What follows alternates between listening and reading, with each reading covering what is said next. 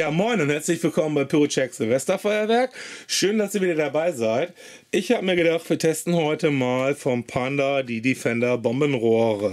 Insgesamt sind in der Packung hier sechs Stück enthalten und die haben circa NEM circa 5 Gramm per Stück.